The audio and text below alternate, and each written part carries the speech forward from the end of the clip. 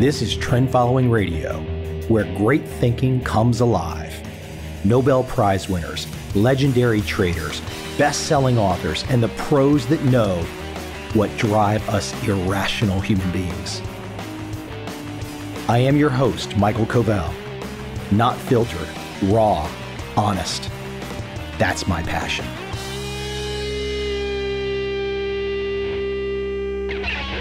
It really is becoming a world where if you have the skill, if you have the talent, and you've worked at it much more than the other guy, the other lady, and you really bring extreme value, you're going to make a hell of a lot more money across your lifetime. My guest today is Michael Solomon. He's the co founder of 10X Management, the world's first tech talent agency. As that probably implies to you, he matches top tech talent with those that need it. And today we jump into his new book, Game Changer How to Be 10X in the Talent Economy.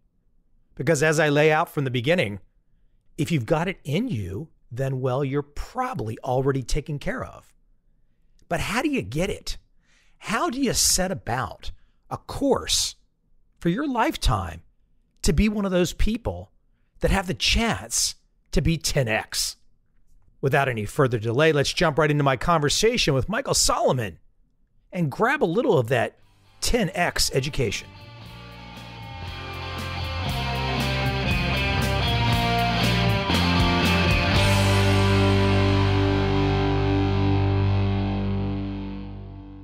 I have a sneaky suspicion you have a kind of an eclectic entrepreneurial background. Not a sneaky suspicion. I kind of know, but I want to know you.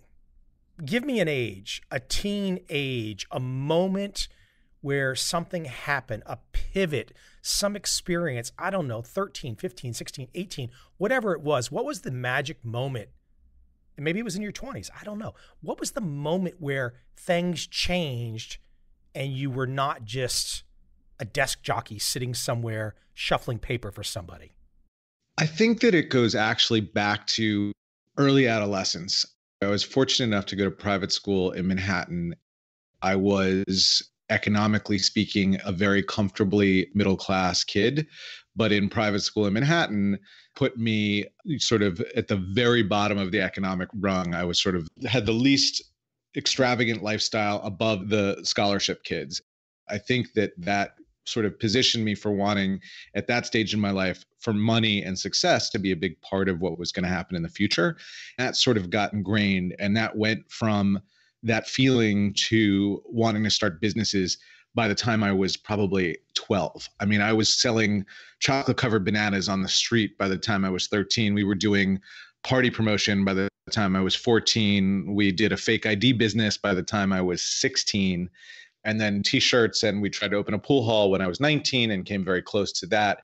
And it's sort of been this constant progression. I think what came later in life which was a little surprising with hindsight was sort of putting the rest of the things that mean a lot in life into the mix. I spend a ton of time now working on nonprofit things and things that make me fulfilled and feel whole that are not about making money. And i think i probably actually spend as much time doing that as I do working on making money. And I never became the giant financial success at the level that I was imagining as a child, but it didn't matter because I have a much more fulfilling life than I think I would had I had that path. Yeah, and I wasn't necessarily going down the path of saying, What's your net worth? I wasn't going there by any stretch. Just trying to get at what's those moments. Well, let me keep it at fake IDs for a moment. It spurs in a memory in me. I know at age 16, I had a fake ID. It was actually not a fake ID. It was a real Maryland driver's license. I lived in Virginia. I don't know how I got it. I still remember the guy's name on it, John Edwins. And I used this for you like. probably even remember his birth date if I had to guess. I remember his street address. I won't say it. I used that sucker at 7 Eleven and whatnot forever. This is back in the day. You know, we're probably closer in age. I don't think today kids, you know, my nephew probably go straight to jail now if he did this kind of stuff. But take me to the fake ID business look, if you're putting that kind of business together, I mean, even when we were younger, we could have got in decent trouble if they really wanted to pinch us. Yeah, I mean, one of the brilliant things about that business that I am loath to share, but it's amusing enough that it's worthwhile, is I was not such a great student and academia wasn't my jam. The result of that was we actually misspelled license on all of the fake IDs that we made. It was only a bouncer somewhere along the way that noticed it, which was pretty comical because many, many, many people laid eyes on it once we realized that, we concluded, you know what? No one notices this. This isn't a problem. Let's keep it that way. And if we ever get caught, we're going to say clearly this is a novelty item, not intended for defrauding anyone or buying alcohol because we didn't even spell license correctly.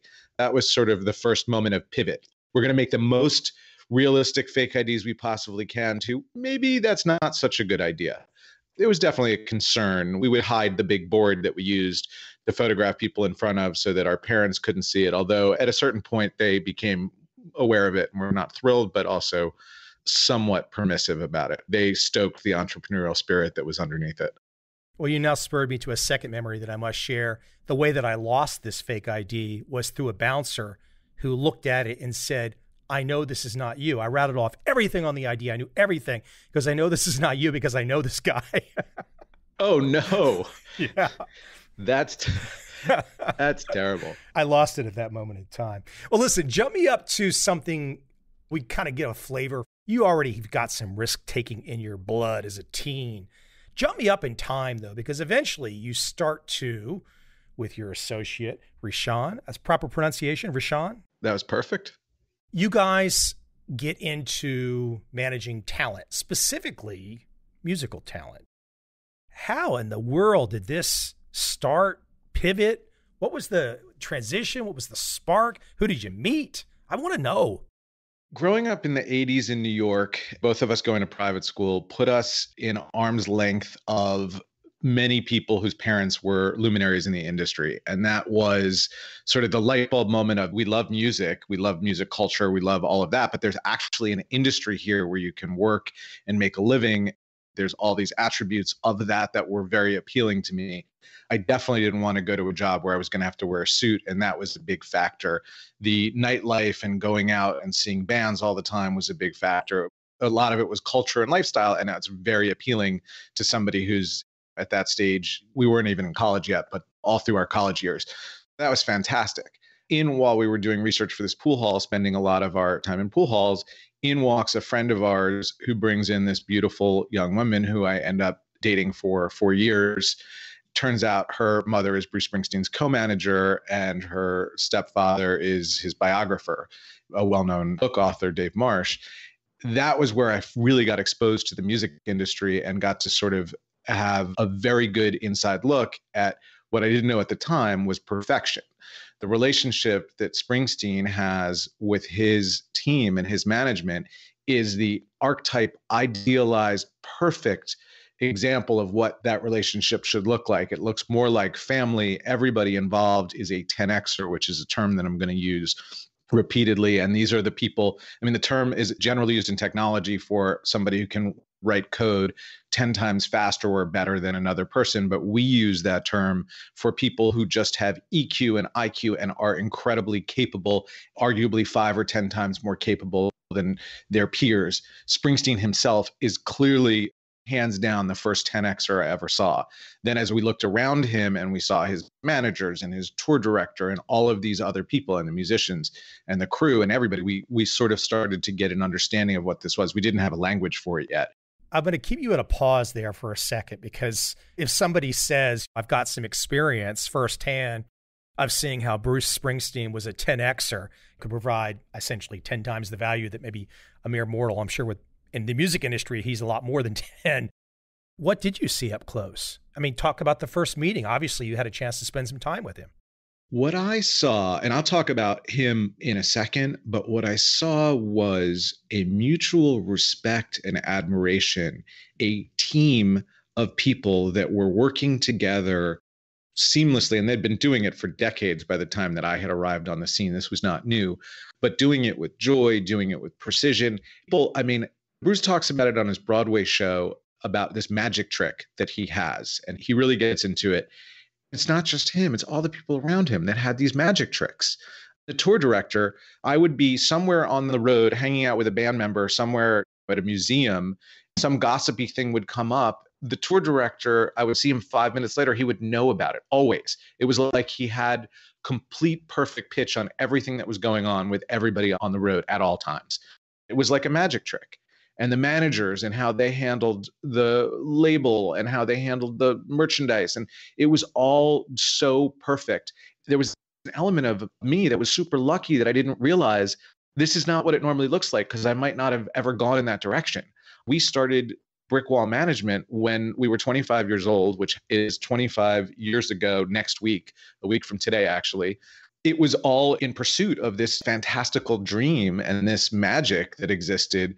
I'm not sure we ever achieved it at that level. Forget about the success of it, just the smoothness, the perfection of it.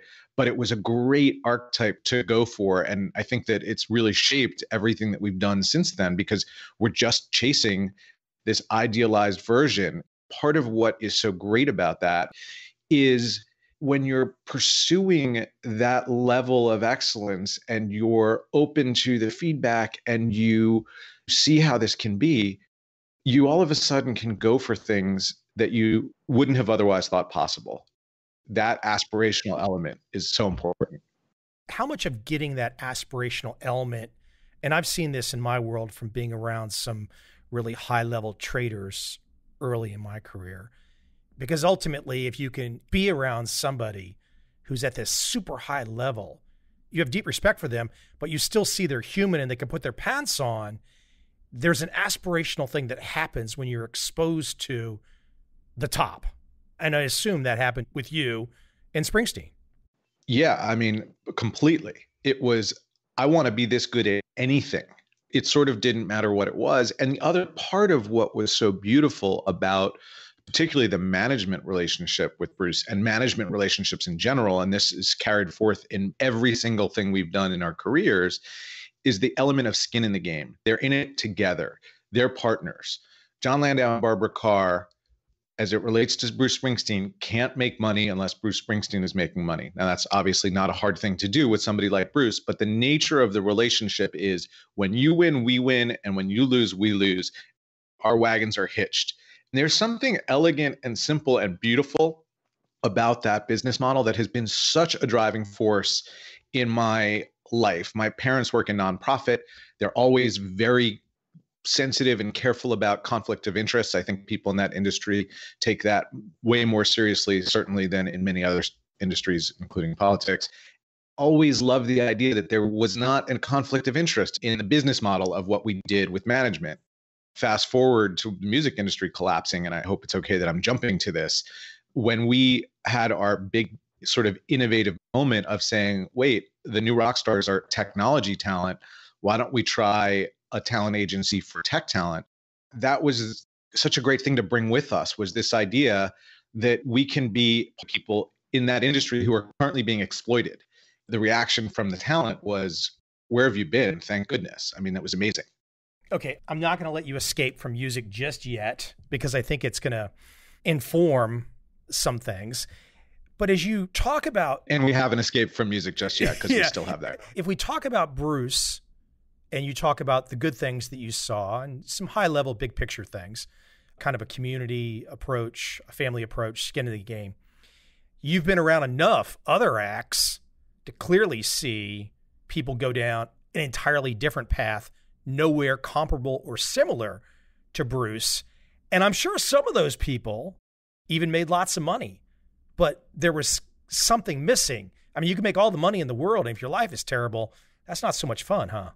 Yeah, we've seen a lot of that. It's something we call the sabotage impulse, and we get into this also in the book. It's basically the people who don't want to take responsibility for their role in things. They're not interested in feedback. They're not interested in accepting responsibility. They're only interested in using a blame thrower, if you will, where it's like everybody else's fault. One of the patterns that you see when you work in the music industry repeatedly is a young artist comes in, gets some representation, whether it's a manager, a lawyer, an agent, whoever it is who's guiding them, an A&R person, they follow the guidance and it leads them where they want to go. Then they start to have success and they literally have somebody or many somebody's in their ear every night telling them how great they are. The fans are, you changed my life, you saved my life. It immediately goes to their head. By the time they reach a certain level of success, they all of a sudden stop listening. They think everything is them. They don't want to hear the hard stuff ultimately what they're left with is blaming everybody, firing people. It's the opposite of what you want. It's the opposite of what a 10xer does. Often you see these people who their career arc is like a quick rise and then a quick fall or sometimes a quick rise and a slow fall, but it's the ones who are able to continue to sort of be analytical and look at the feedback they're getting and have the trusted people around them who will say, I don't think that's a good idea. Or what if we do this this way that are going to continue to rise or sustain at that level. And I think that's one of the things that Bruce is amazing at. Let me give you the shift. So the shift is as we kind of lay this foundation, early teens, kind of got this entrepreneurial bug, go down that path. There's some serendipity. You find your way into meeting someone like Bruce Springsteen. And I would like to add here, I'm sure plenty of people through the random roundabout connections that you laid out to me, lots of other people had those connections too. Probably didn't follow up like you and your partner did. So we go down this path and you explore the musical space, you rep talent in the music space, but then there's another pivot in your life. You somehow or another, and I want you to tell me how, you pivot from saying, wow, repping talent in the music space what about repping talent in the coding space? Now, those two things don't seem remotely connected, but I'm sure you're going to tell me that once I understand the way you looked at it, they are pretty connected in a way. This is the theme of everything that we've learned is talent is talent. The definition of talent is changing and broadening. The theme of what we're driving at in these conversations is helping people, especially in corporate America, understand that the people who work for you, whether you're a CEO or you're a mid level manager or you're a low level manager, those people on your team, their talent, they are thinking of themselves as talent. They want to be treated as talent. Now, does that mean you have to pick out the green M&Ms for them? No, that's not what it's about. But if you want to get the most out of them and more importantly, if you want to be able to hire the 10xers, then you have to think about them in this context. What does the greatest talent in the world want? They want a place where they can thrive and grow and get feedback and get better, where they're valued and they feel valued. Not just their work is valued, but they're valued as human beings. And as much as everything I'm describing is very applicable to 10Xers, it's also equally applicable to Gen Z and to millennial. This is how they think of themselves there's this constant, I'm sure you've heard about it a million times, push and pull between millennials and sort of people who are more our age who are like, these millennials are horrible, they're lazy. All of this stuff, they're just not realizing that there was a shift in how people think about themselves and how they want to be treated. And that's not just entitlement and spoiledness, it's just a different way of thinking about it.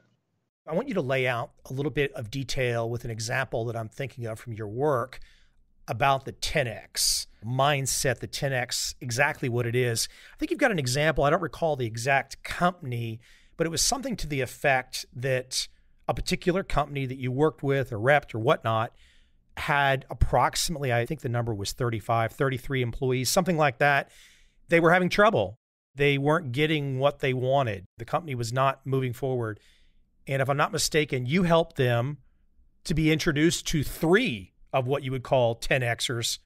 The entire 30 plus staff essentially went by to other jobs, and that company was able to use three people to replace 30. Is that a fair assessment? You've got it 100% correct. We never thought we would have such a literal example of 10x because it happens, but it's not quite this literal. The founder of this organization came to me and asked if we had people who could do this and i showed him a few of those profiles and he explained that his team it had gotten bureaucratic, I think was the way he described it. And he felt that there was a need for a change. He knew their entire platform needed to be rebuilt. He said, All right, we didn't have this conversation. And then he came back a couple weeks later and he said, Okay, I've laid off carefully and well without placement services and they've all got great jobs and don't worry about them 33 of the 36 people and he kept a few to keep sort of the lights on if you will these three guys which eventually grew, grew to a team of five or six rebuilt the platforms from scratch in roughly a six month time frame by the time they were done they had it running at incredibly fast speeds, the processing speed of like what Amazon does in terms of transactions. The team that we put in place was excited about everything they had done. The company, the founder was thrilled, but they got most excited about the speed of being able to process transactions because they were like, we completely nailed this. That is what can happen when you take the best and the brightest, you give them what they need, the resources they need, the time, the space. And by the way, this was probably now three, four years ago they were all working remotely. They would occasionally travel in, but they were not all in one place. You mean there wasn't a boss or a company policy that said you had to show up every day and stand around the water cooler and hobnob with everybody? That wasn't part of the deal? Even before COVID, there were people who were thinking that, wow, why do I want the best person who's within a one hour drive of my office when I could have the best person for the job who may not even be within a five hour drive of the office or a five hour flight? it was a fantastic outcome. And when we started, we had no idea it was going to be such a great relationship, but it was ideal. And the people who worked on it were that great. Let me keep it at the mentioning the millennials and Gen Z and some other generation in there as well too. But I'm thinking of a bell curve in my mind and I'm thinking, okay, if we've got multiple generations that have this maybe higher sense of self-worth there's still a basic statistical property going on where not everybody gets to be, as you just described, three that replace 33. Everyone can aspire to, everybody can improve. I'm not trying to say that. I'm not saying we all can't really raise it up. But do you think there's any, when you make these observations of people and groups and whatnot, are there any parts of some of the generations where their self worth is too high compared to what they've done in order to get to be one of these 10xers meaning is there a little bit of a too much ego thing taking place whereas some of the 10xers that you're describing they got the egos in check and they just work hard and they love to do it Absolutely. I don't want to suggest that there aren't extremely entitled, inappropriately entitled millennials and Gen Zs and from every generation who just think they're better than they are. That's going to happen throughout. I just think that in order to get the best out of anybody from these generations or 10xers, you want to create the environment where people can get better. So even if you're a 4xer and you can become a 6xer, in the example I'm using, if you can help that person become a third better than they are, you've done a great service to them. And certainly the outcomes you're trying to achieve just got a lot easier. It certainly exists. And then there's people who have the sabotage impulse that I was describing a minute ago. And the minute you spot that, get those people out of your organization because they're not going to learn. In order to learn, you have to have some level of humility. What's a great concrete example for the sabotage impulse that you see someone coming into the operation or someplace that you're working with, and you see that person coming in where you just know immediately, this just isn't going to work? I'm sorry. So you often start to see it. We try and have gotten pretty good at spotting it even in an interview process one of the things, and I have to thank our advisor from Enjoy the Work, who's taught us so many things for this technique. But one of the things that we do in interviews at this point is we'll pick a little argument with the person, not a heated thing, but just something to see how do they react when somebody disagrees with them? How do they take negative feedback? Part of what we do in, our interview process is we play out scenarios where somebody made a mistake. Tell me about a time you made a mistake, you were wrong, you did something that you shouldn't have done or that really wasn't what the person you were working for was looking for. I can almost tell every time from how they tell that story whether they're going to have the sabotage impulse. I, of course, fail in certain instances, but it's pretty easy because the person who says, I did this and it was really my fault and I learned so much, but I regret it. And I realize now that whatever it was, that's somebody who has the ability to see what their role is and learn from it. Conversely, the person who tells me, well, this happened, I did it wrong, but it wasn't really my fault, and it was this and it was that, they failed to understand the question, for one thing. If I give them a second opportunity to say, no, no, no, I'm really looking for a time you made a mistake and you did something wrong, if they can't comfortably get there, that's a very big sign to me that this is somebody who's not going to be able to make it happen. I mean, I could give you countless examples of this kind of behavior. But part of what happens when you allow somebody like that in your organization is everybody around them is constantly ducking and covering because every mistake that that person made is going to get foisted on somebody else. I mean, I think we're seeing this in very high offices in our country right now where I could be wrong. I don't think there's been a moment, and I don't want to turn the conversation political, but I don't think there's been a moment in this presidency where he has said, I made a mistake. I wish I had acted faster. Nothing. Certainly in prior presidencies, there were moments of that. There were varying degrees on how often somebody was willing to admit that. But when somebody's completely unwilling to say, I played a role in an outcome that I didn't like, there's nothing to work with. Yeah. I mean, I see it all the time in untold numbers of examples. I specifically see it in social media conversations, regardless of the topic. You can just spot people.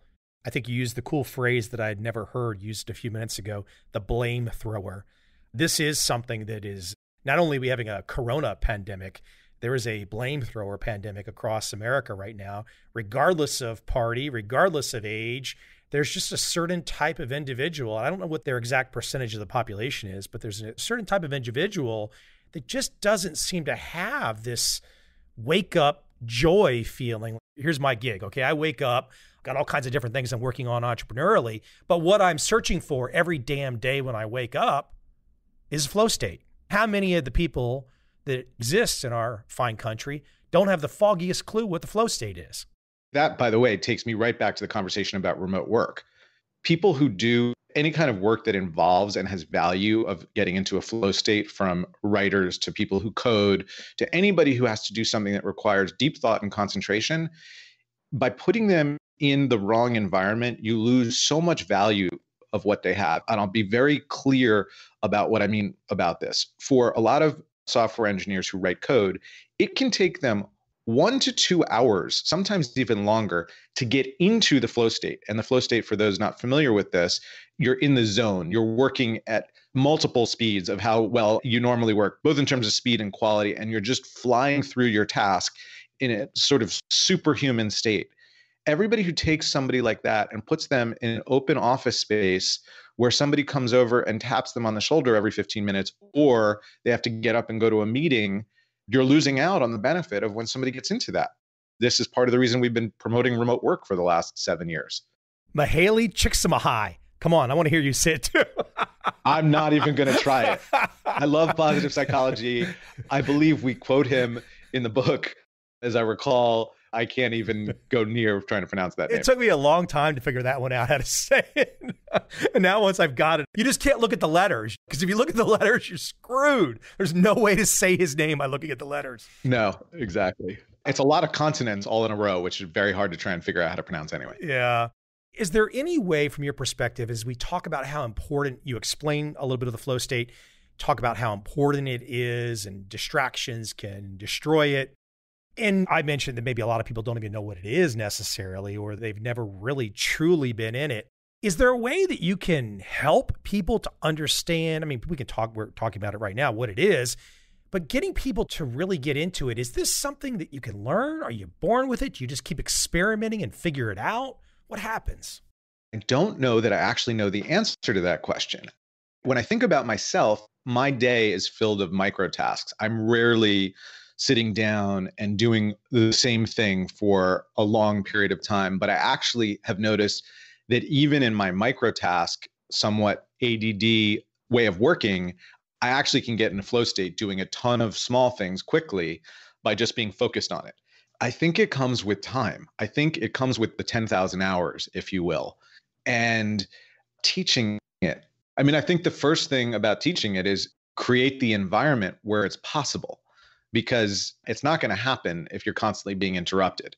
One of the things that I think corporate America really needs to adjust about is the massive number of meetings and the length of the meetings and what's coming out of the meetings and who's sitting in the meetings that doesn't need to be there or is only there they're in a 1 hour meeting for a 1 minute comment. I think that that's a big killer of the flow state and I certainly understand the need for communication and coordination. And where every business I've started, I have partners in. So I, I'm an over communicator or I try and be. But as a company, we don't have a gazillion meetings every day. We have some, but not like that. And I think that's a big place for people to look at how they can adjust this. I love this phrase that I saw in your work, and maybe I'm just silly and I should have seen this sooner, but I saw it in your work. So you get credit in my mind hire slow, rent fast. Wow. As an entrepreneur who's hired more freelancers in the last 20 years than I care to speak about, and as we all know, especially in the web development space, oh my gosh, these things just happen. I think the whole time now, when I look at your work and I look back over the last 20 years, I say to myself, gosh, if I just would have focused on finding the really, really top notch and paying more, I would have been far better off than all the money that I wasted on all the folks that I probably knew from the beginning couldn't do it. And they just were selling me a used car and I knew it and I went along with it. We experience this all the time. Here's the way the conversation often goes. One of our agents presents this fantastic PHP developer who maybe person I'm thinking of has written five books on PHP. He's great he's not inexpensive. He's not crazy expensive, but he's the high end of the market rates. And let's just say, for argument's sake, that that's $250 an hour.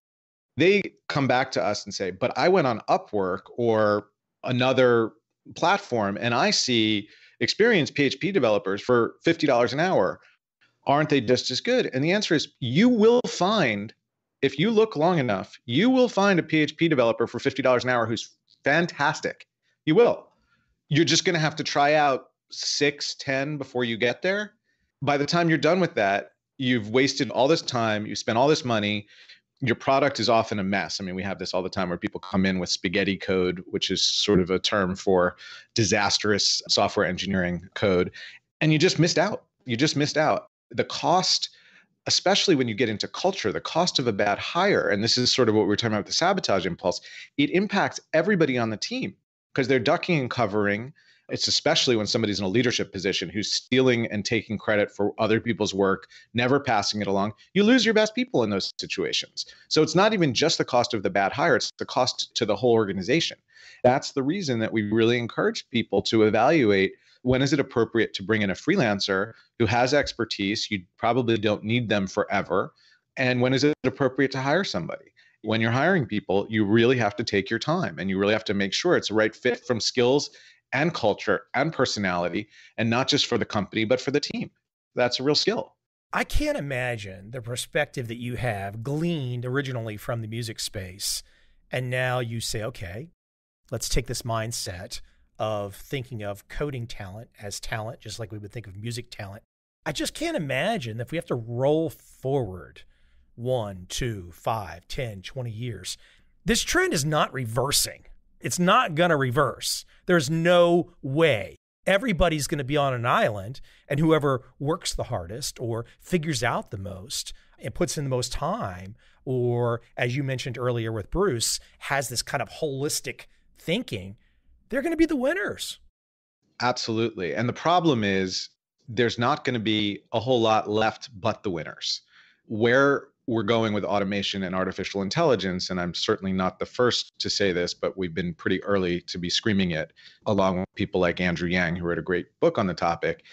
Jobs are going to be gone for a huge swath of the population. COVID just accelerated everything. I mean, as Andrew said, we just went through 10 years of change in 10 weeks. It's totally true. The numbers that are being reported out of the 43, 44 million people who lost their jobs, 43% are not getting their jobs back. And that wasn't like they're not getting their jobs back this year. They're not getting their jobs back because this is a moment where automation and using technology to replace humans is cheaper and easier. And once you had the people out the door, before you bring them back, you're like, wait, do I need all these people? And what that means is if you're not a 10Xer or in that neighborhood, the opportunities are going to be fewer and fewer as time goes on. And that begs a lot of big societal questions, which we get into on a website that we built that I encourage people to check out called thedayafterlabor.com, which is all about this problem. And what are we going to do as a society about this problem? Well, you know, it's been a long time building. I mean, I still remember I was living in Northern Virginia, about 15 miles outside Washington, D.C. I saw Netscape go public in the summer of 1995, and I said, Game on. This is it. This is not going to go backwards. I thought, well, gosh, this is going to be remote work right now. Of course, we just kept building more and more office space. Perhaps WeWork imploding will be the peak office space moment. What's really interesting still about America is that we still use this term job. And it's really, I think, freelance. If you say someone's freelance, you're not really talking about a job. You're just talking about a negotiation, a collaboration with them to where they could help you on something and you help them back. And there's this kind of win win mentality. Whereas a job just feels like you're filling a role. If you leave, you can be replaced. A cog in the machine. Right, right. Clearly, you and I get this because we've been living it a long time. I'm not trying to say we're all that. Maybe you and I just stumbled into it, and that's what happened. I'm sure happy that I stumbled into it. But I always just look at situations now, even when I look at teenagers and I hear stories of teens from families and friends, and it's like they've got this mentality from their 40 something parents we're going to go to college and we're going to study such and such. And I'm like, kind of horse blinders do people have on? exactly. Exactly. It's like all the data is there, all the evidence is there. Every major prognosticating institution, from all the management consulting firms to all the universities, all predict the same things. Do they predict the same numbers? No. Is it 47% of jobs in the next 15 years that are going to go away or 35%? What difference does it make? I mean, obviously, that's a lot of people in those differentials. The fact of the matter is, the world is about to go through a giant gyration, and it's very different than the industrial or agricultural revolution. This isn't just going to be job churn and you're going to learn something new. There's just not going to be jobs for everybody. And as a society, we're really nowhere in planning for this. And we also, frankly, have to adjust what our values are. Because if we only have a financial measure as values, it's going to make it very hard to advance into the next phase of civilization and society. I don't think a handful of years ago I could have ever considered Andrew Yang's proposal as valid or worthwhile. I would think it's just throwing your hands up and giving up. But I do understand as I get older, I look at this and I say, well, if we do reach a situation where too many people don't have either the aptitude, the skill set, the understanding, whatever the reason is, and they can't adjust, there's going to have to be something. I'm not saying just a very large welfare check for everybody. We are going to reach a point. I think you're making that case. We're going to reach a point where even though you and I might want to have tough love with somebody, and we might want to kick them in the butt, you might want to say, hey, you have to work harder. If people go down a certain path long enough, Let's say they do the 18 to 22 college, they go to grad school, they're chasing some job, and now they're 30 years old. In some ways, that's very difficult to escape from mentally and start over. If there's even a place to start over. I mean, I think that a lot of people think, oh, everyone will just learn to code. We won't need that many coders. I mean, we'll need a lot, but it's not like it's going to fill all of the roles. Universal basic income, I think, is a really flawed. It's a concept I'm not excited by at all. But the reason that I sort of entertain it very seriously is I haven't heard a single alternative that solves the problem. And by the way, it wasn't called this. What does everybody think the added unemployment money was and all of the stimulus money was? It was a form of that. It was a big UBI, wasn't it? it was. It was like no UBI. one's saying that, but all of a sudden Andrew looks like a genius because he was screaming about it for the last two years.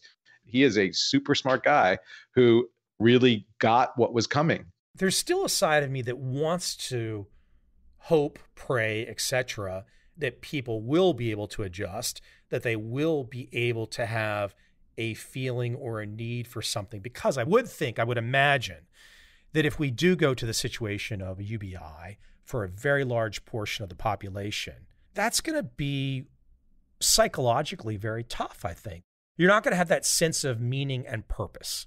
And that's exactly what we do on the day after labor site is very little of prognosticating and mostly just gathering data so people can educate themselves. The one part that we do is we say, hey, we came from the music industry. We saw the massive disruption in the early part of this century. And that's part of the reason we pivoted or started something new in another industry because we saw this coming. We feel like we have a good vantage point of what it looks like after an industry goes off a cliff. And we have many industries that are about to go off a cliff we see that the problem is coming, but the problem we frame it in two ways, which is how do you keep people out of poverty when there's not enough jobs for everyone?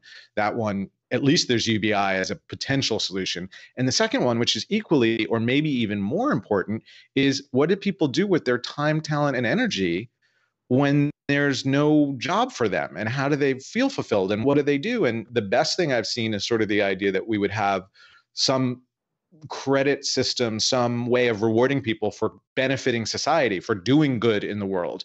But it's barely been proposed, it's barely been discussed. These are things that seem like they're so far out and futuristic. that sounds far from freelance. That sounds more like command and control. Oh, yeah. By the way, my take on the freelance economy is this was not the future. This was the rest area on the highway between the employed world we were living in and the unemployed world we're heading toward. We start to see that right now as the freelance economy just took a big hit during this period of time. Some areas did, some areas didn't.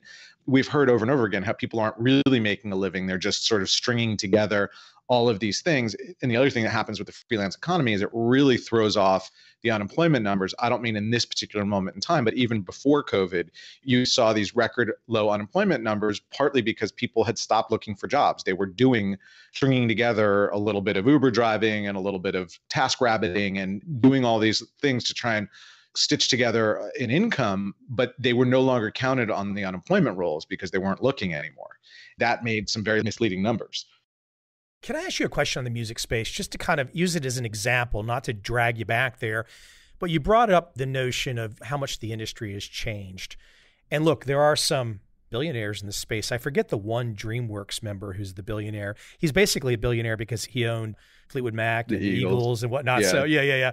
David Geffen. Yeah. There's guys out there that were at the right place at the right point in time and whatnot. But have you seen? You're giving the example of how technology has opened up talent for coding.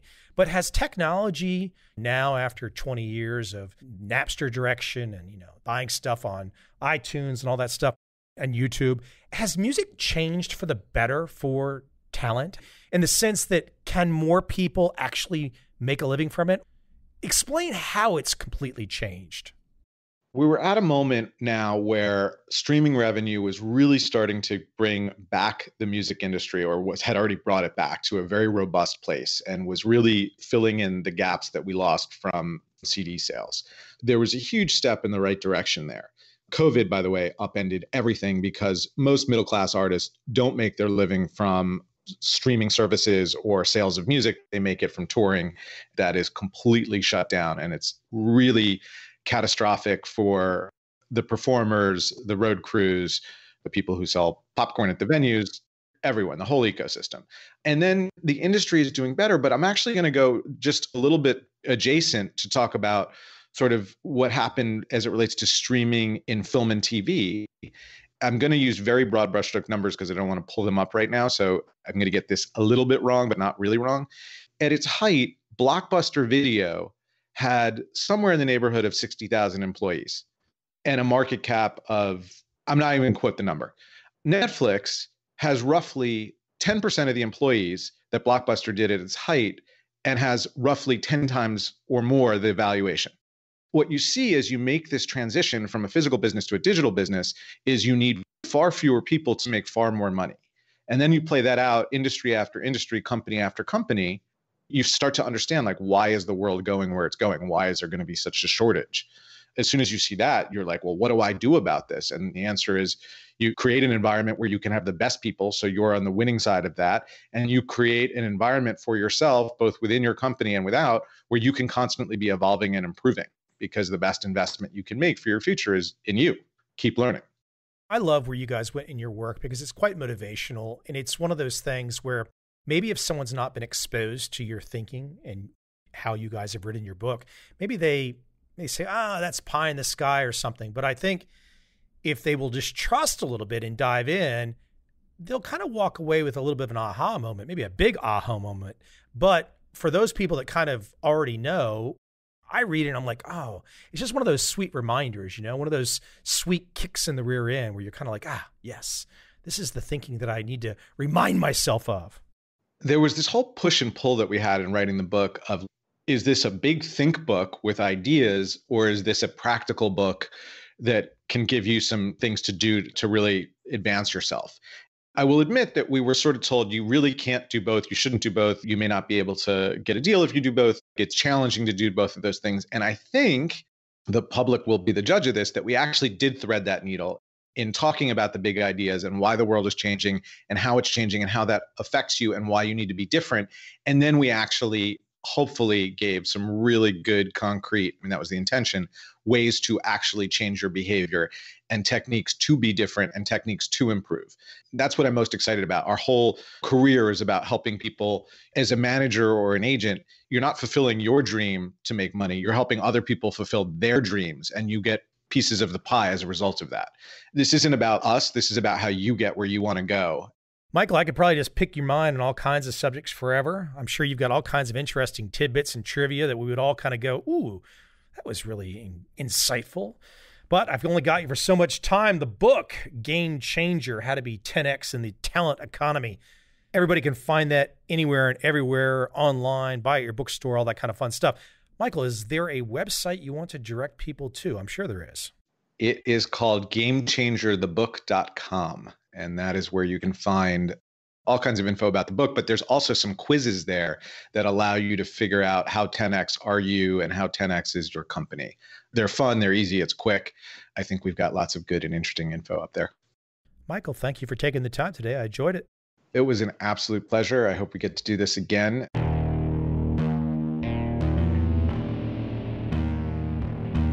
I see a time when those awake will understand how to make money in up, down, and surprise markets. Whether new trader or experienced, college student or financial advisor, protecting against a crash or just trying to make a lot of money, trend following offers everyone an answer in uncertain times. To get started immediately, send me an email, michael at covel.com. I will send you the right trend following steps to take along with my free video. But if you want to buy and hold, trust the government and trust Wall Street, this is absolutely not for you.